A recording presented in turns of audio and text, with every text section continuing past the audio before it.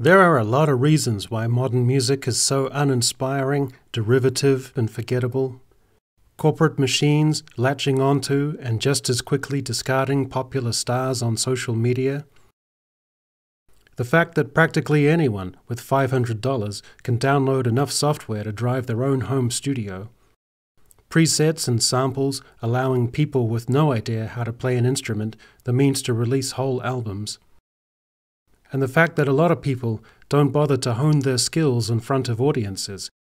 Most of all, modern musical culture is so empty because it lacks the one thing that defined great, transformational periods of music for centuries one upmanship and rivalry among young men.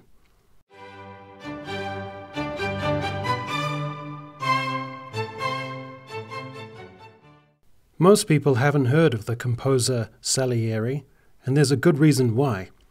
His main rival was a young protege named Wolfgang Amadeus Mozart. Mozart outshone his great rival on the way to becoming a star, playing dazzling pieces on the harpsichord to impress potential patrons, and even playing Salieri's pieces with more flair than their composer as a means of upstaging him. So fierce was the competition in the classical age so crucial the tussles over the use of concert halls that some composers were driven to depression and nervous breakdowns.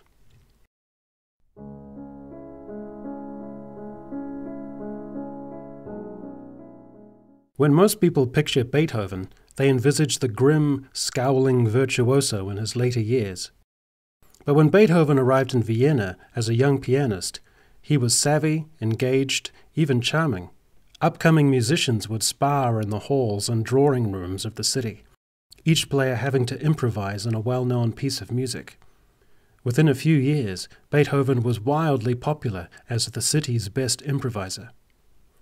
To maintain his stature, he had to see off every rival, among them the heavyweights of the music scene.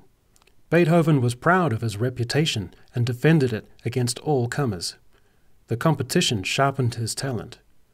It also sharpened the interest of the young ladies in the corners of these private concert rooms, who would be disporting themselves in their silk dresses, their faces powdered, peering at the young performers from behind their lightly waving fans.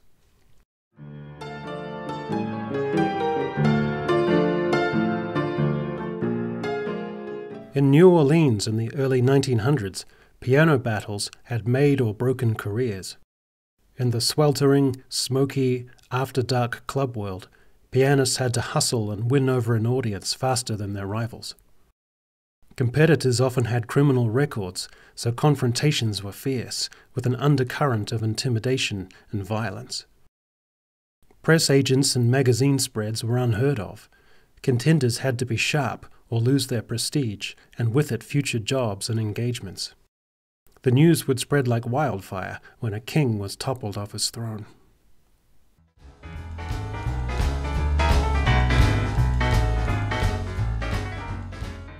In the 50s, the best of the raw, ambitious musicians toured through Canada, traveling hundreds of miles across vast distances between little cities and towns, the roadbed eaten by permafrost. Carl Perkins and Johnny Cash had begun the tour as headliners. Jerry Lee Lewis, the newcomer, the blond haired kid who called himself the Killer, had the nerve to suggest, as the days wore on, that he should close the shows. Through force of will, Lewis climbed up the bill over Carl Perkins until there was only Johnny Cash above him. Lewis's shows got wilder, and the audiences bellowed for encores. By the time he had bashed out the last piano chords each night, the people were out of their seats and the local police on edge. Eventually, he fought his way to the top of the bill. The night of his raucous triumph, he walked past Johnny Cash. Nobody follows the killer, he said over his shoulder.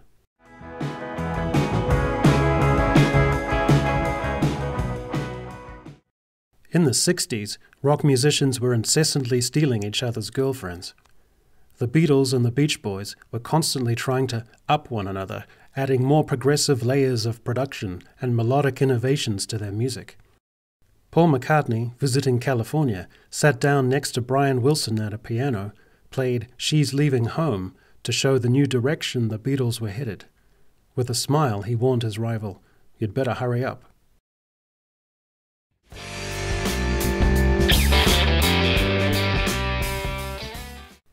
Jimi Hendrix and The Who had their sets scheduled back to back to end the 1967 Monterey Festival. There was a quarrel backstage. Neither wanted to follow the other. Eventually, The Who went first. Hendrix followed, and having learned through his years coming up what a musician had to do to follow a major act, he pulled out all the stops. He whipped the crowd into a frenzy the performance entered the annals of rock history.